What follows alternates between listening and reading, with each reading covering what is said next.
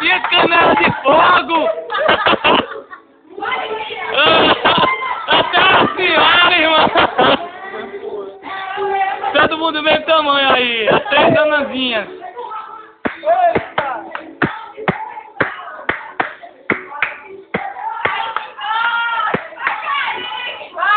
A minha